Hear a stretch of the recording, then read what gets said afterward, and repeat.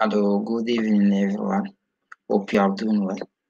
Um, tonight we want to learn how to, when we are dealing with XLS form, how to have this part which can help us to make our signature.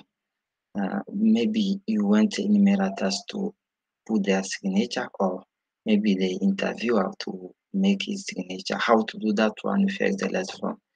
Suppose the question is um, make your signature.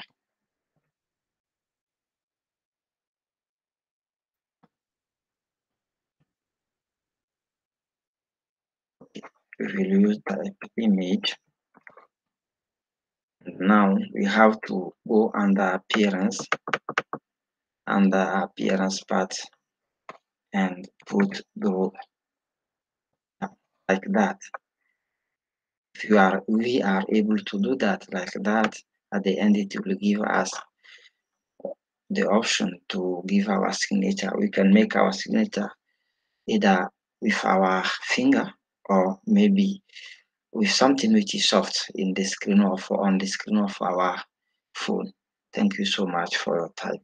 I hope this will help you.